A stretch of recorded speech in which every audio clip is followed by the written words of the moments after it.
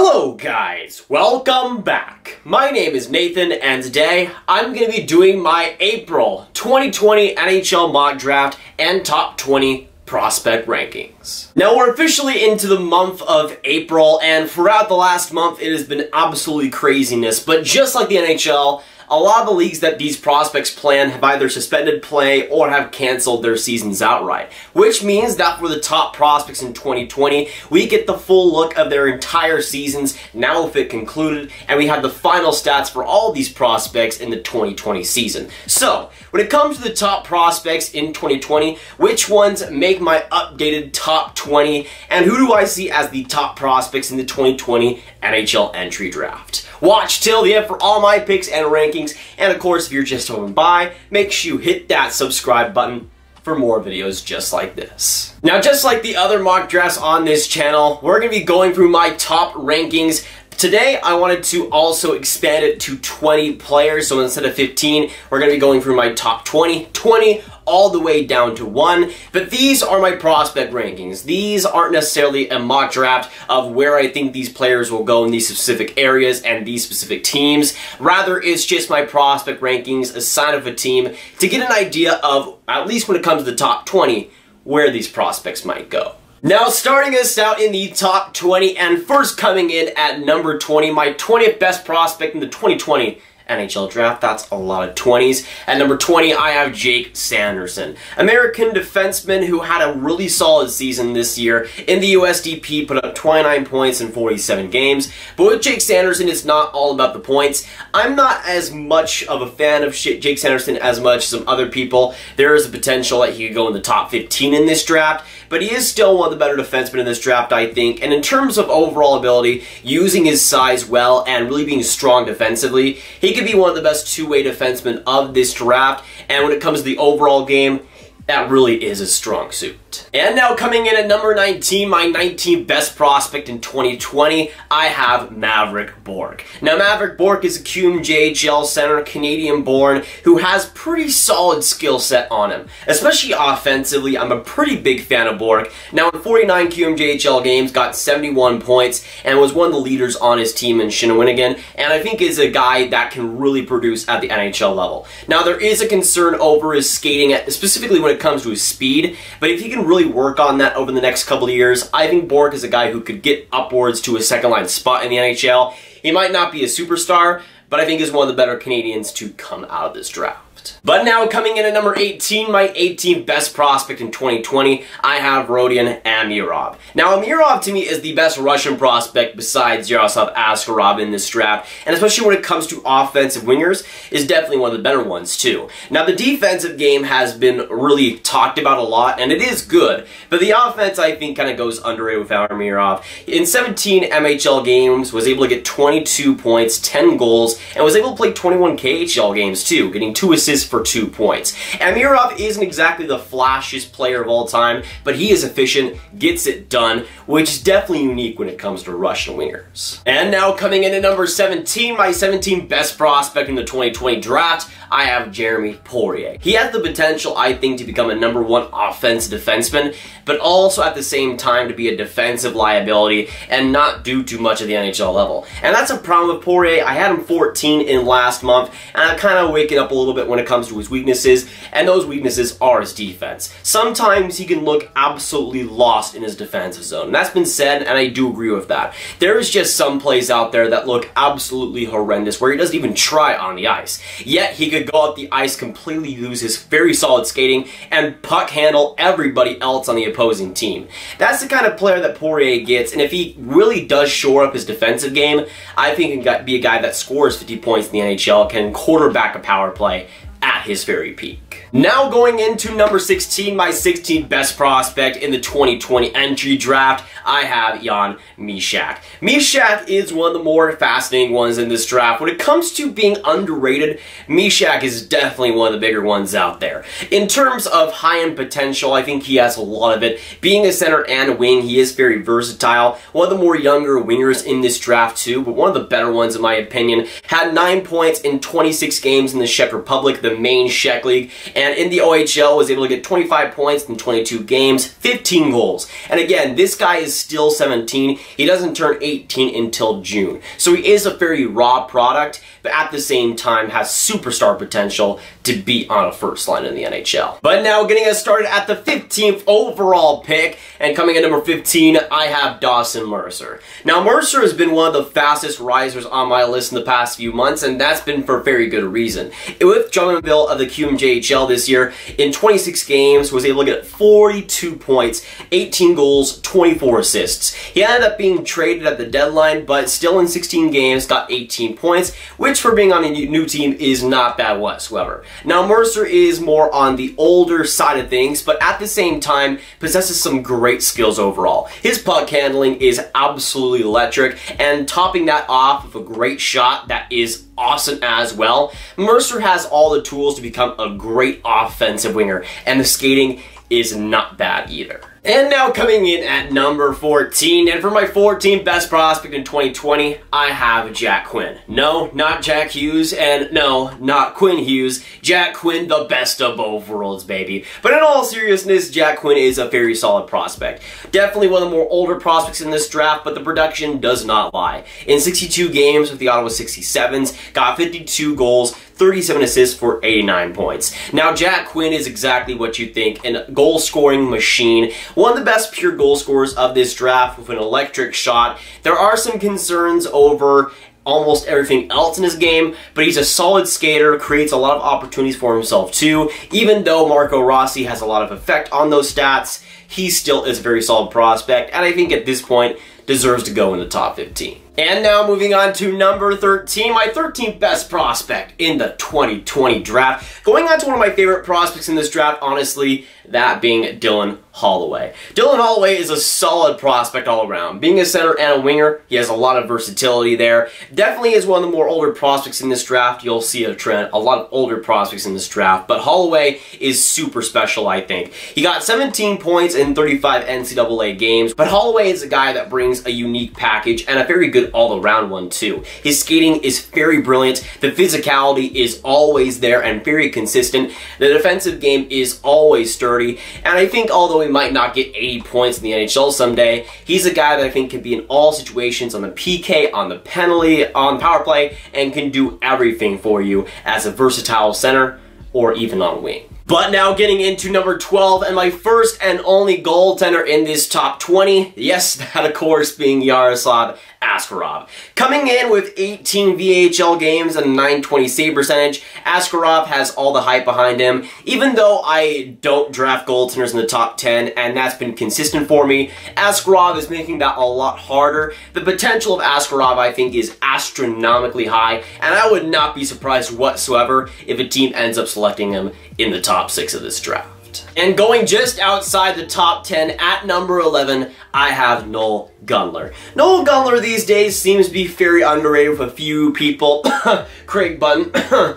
but I think is still one of the top prospects of this draft, and especially when it comes to European prospects, is one of the best forwards out there. Noel Gunler in 45 SHL games was able to get 4 goals and 9 assists for 13 points. And although, like a lot of other prospects, he is more on the older side, those are still very productive stats, and for a guy who didn't get a ton of production, a ton of ice time, that is very good to see. When it comes to Gunler, the skill is just obvious. Although the inconsistencies can definitely be there, at a guy at his peak, I think he's a guy who can be a first line winger in the NHL someday, and a skill will show itself throughout his career. But now getting us started with the top 10, and coming in at number 10, I have maybe the quickest riser of this entire list, that being Seth Jarvis. I don't even want to make a mistake here because I think Seth Jarvis is one of the best prospects in this draft and deserves to be going this high. Last time I didn't have him in my top 16. I think I had him uh, my 16th overall pick or something around that area. But Seth Jarvis, the more and more I watch him, especially over the past few weeks, I got a lot more of an opportunity to. He just wows me almost every single time. Consistently amazing in the WHL this year.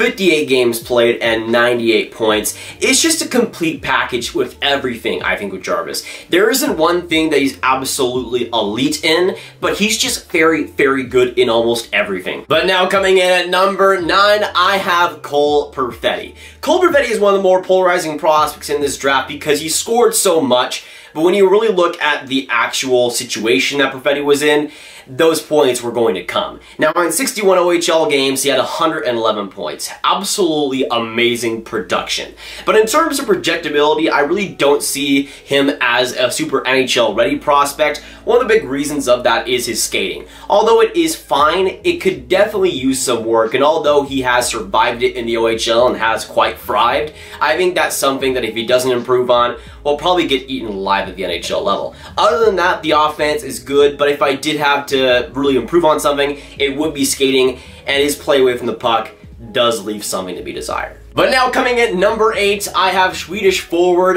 Alexander Holtz. Now Alexander Holtz has been one of the most interesting prospects throughout the last few months because I had him at number 3 I think in November. Now he finds himself at number 8. That's not really a problem against him because he's still been pretty great. In 35 SHL games has gotten 16 points and in 7 World Junior games got 5 points too.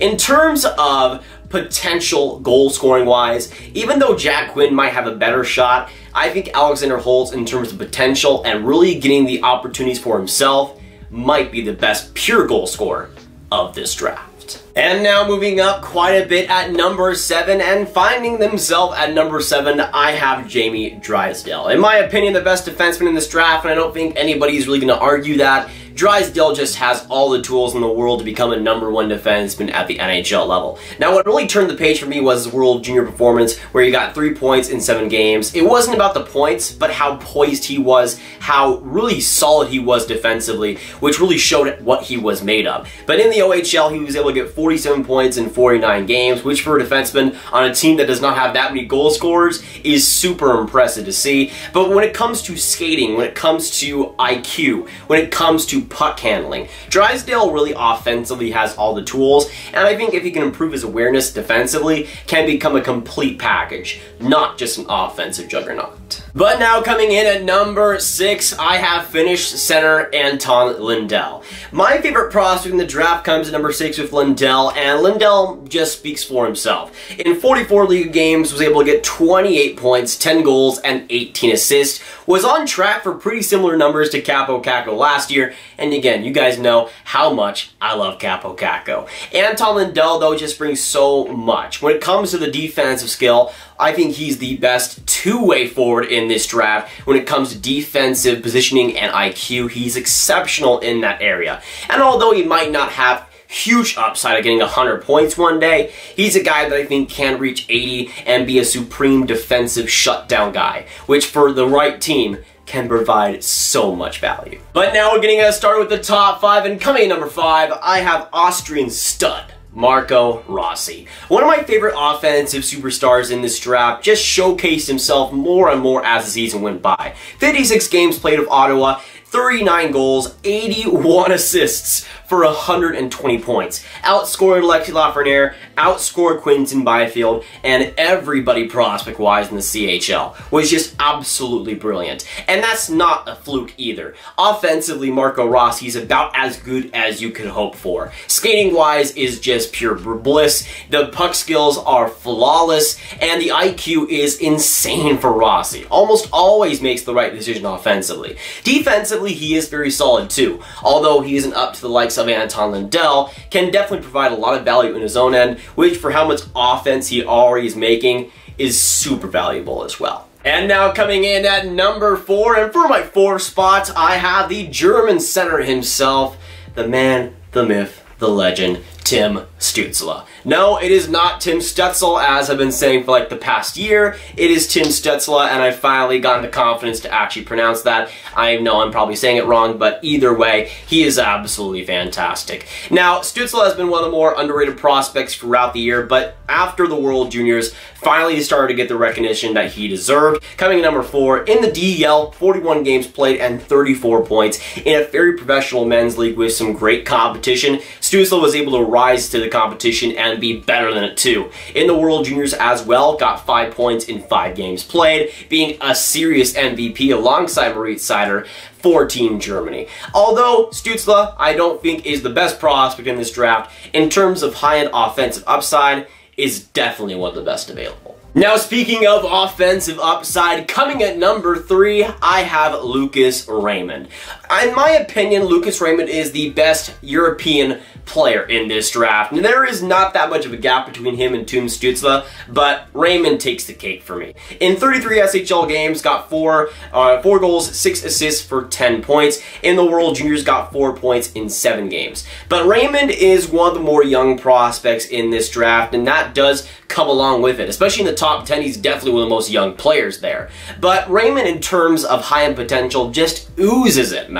In terms of puck skills, in terms of hockey IQ, it really is all there for Raymond, and he has such great skating on top of that. Defensively, does not skip out on a shift either, is very responsible, and again, he is more on the younger side, but in terms of high-end potential and what you're getting, and to me, that's a top six NHL winger at the very least. Now, coming in at number two between Lafreniere and Quinton Byfield, I'm going to put the quintessential center of the draft at number two, that being Quinton Byfield. Now, some people will have Tim Stützle ahead of him, and I can see why, but to me, Quinton Byfield just offers so much that is very uncommon in the draft. He's six foot four, but provides so much skill too. 82 points in 45 games. And people do forget that he's one of the youngest prospects in this draft too, being an August birthday. I think if he was draft or if he was born a week later, he would be eligible for 2021, and we wouldn't even be having this conversation. But he still performed very, very good. And at one point in time was a two point per game in the OHL.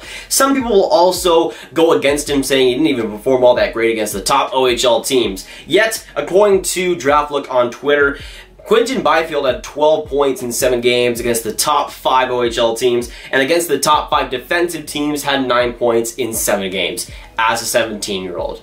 I still think that's pretty good. But now coming in at number one, the best prospect in the 2020 draft, and no, it is not Kaiden Guhle, it is Alexis Lafreniere. Coming from October, no movement, to April, number one consistently is Lafreniere, and he just proves to be the best prospect in this draft, time in and time out. 112 QMJHL points in 52 games, and was Canada's MVP in the World Juniors, 10 points in 5 games played. Alexis Lafreniere just rises up to the level and consistently is amazing. He is the complete package. Puck skills, IQ, defensive play, drive, work ethic. It is all supreme with Lafreniere. He deserves to go number one, and whatever team ends up being lucky enough to draft first overall will be friggin' sprinting to the draft podium like they've never done before. But that is my top 20 prospect rankings here today. Hopefully you guys did enjoy this one. Of course, if you guys are stopping by, make sure you hit that like button, hit that subscribe button, and hit that notification bell for more videos just like this one. Of course, with this top 20, I need to hear your guys' thoughts down those comments down below. Let me know what you agree and disagree with, and also let me know what your prospect rankings are for the 2020 NHL Draft. Of course, share this video with your friends, get the rankings out there, and click on this card to watch all of my 2021 NHL draft content. My name is Nathan, and I'll see you guys next video or stream. I'm honestly not sure when the next rankings are going to be, but I'll keep you guys updated. Goodbye.